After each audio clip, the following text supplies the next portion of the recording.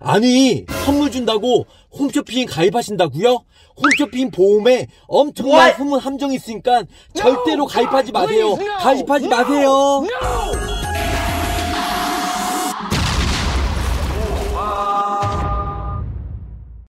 보험을 사랑하고 보험인으로서 보험을 쉽게 알리고자 하는 보험왕입니다. 구독자님, 미래 구독자님, 감사합니다. 자, 우리가 보험을 가입할 때는 뭐 친인척이나 지인, 설계사한테 가입하는 경우가 있고요. 아니면 저처럼 유튜브 보고 블로그나 카페, 어떠한 SNS를 통해서 가입하는 분들도 덜어 있습니다.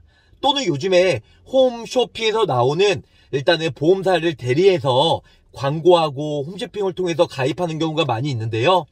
홈쇼핑으로 가입하는 이유는 여러 가지가 있지만 어떠한 자극적인 내용을 어, 홍보함으로써 가입하는 경우도 있고요. 아니면 선물을 통해서 상담이나 그 단순하게 상담을 받고자 했는데 선물 때문에 상담을 통해서 가입하는 경우도 많이 있다는 겁니다. 자, 저 보호망이 홈쇼핑 가입할 때 주의할 점, 그리고 홈쇼핑의 숨은 함정, 치명적인 네 가지 함정에 대해서 설명해 드릴 테니까 웬만하면 홈쇼핑 보험 절대 가입을 안 하시길 바라겠습니다. 자, 첫 번째는 홈쇼핑 보험이 저렴하다고 하는데요. 절대 저렴하지가 않아요. 저 보험망을 통해서 가입을 하든 다른 설계사한테 가입을 하든 보험료는 홈쇼핑에서 나온 상품과 보험료가 동일하다는 겁니다. 그래서 더 저렴해 보이는데 하지만 의류나 물건처럼 그게 저렴하지 않고요. 보험은 홈쇼핑으로 가입을 하든 일반 설계사한테 가입을 하든 저 보험왕한테 가입을 하든 보험료는 동일하다. 그래서 절대 저렴하지가 않다는 겁니다. 자, 두 번째는 사후 보상 관리가 안 돼요.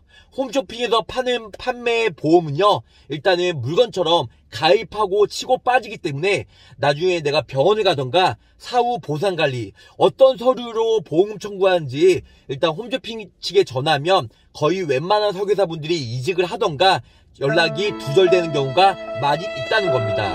그러면 콜센터나 아니면 주변의 지인 설계사한테 아니면 본인이 계약자가 알아서 어, 보험 청구를 하셔야 되고 어떤 서류로 청구하는지 본인이 다 공부하고 숙지를 해야 되기 때문에 홈쇼핑으로 사후 보상 관리 받기는 매우 쉽지가 않다는 겁니다.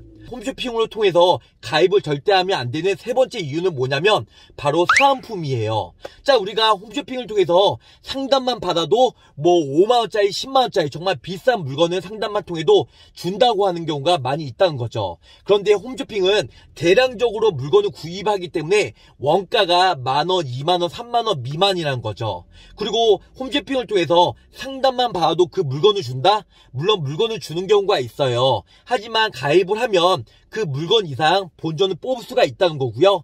가입을 안 했다 할지라도 상담만 봐도 물건을 주긴 하는데 그 데이터베이스죠. 그 고객의 성향 아니면 이름 뭐 주민번호 생년월일 연락처를 통해서 다른 업체에 또 돈 받고 판매를 하기 때문에 어 내가 개인정보를 웬만하면 철저히 지키는데 홈쇼핑에 상담만 봐왔는데 왜 이렇게 많은 업체에서 전화가 오는 거지? 그렇게 궁금해하고 아이러니하는 경우가 많이 있을 거예요. 그런 부분들은 홈쇼핑을 통해서 고객 정보를 유출가 되는 거고 그 홈쇼핑은 1차, 2차, 3차를 통해서 고객 정보를 돈 받고 판매하거나 제휴된 업체를 통해서 공유하기 때문에 고객 정보가 유추가 돼서 많은 업체에서 연락이 올 수 있다는 부분. 그래서 그 상품 때문에 상담만 봐서 일단 상품 받고 그런 부분들은 개인 정보를 돈으로 계산하면 엄청 엄청난 뭐 그 가치가 되기 때문에 일단은 사은품에 현혹돼 가지고 보험 가입이나 상담 이런 부분을 안 하시길 바라겠습니다.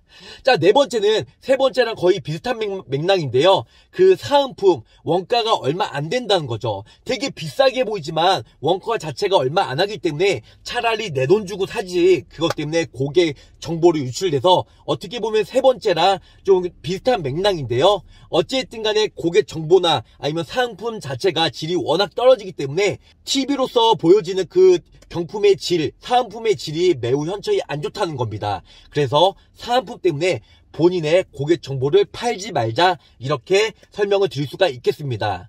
자 오늘은요 저 보호망이 홈쇼핑을 통해서 가입하면 안 되는 네 가지에 대해서 설명해 드렸어요.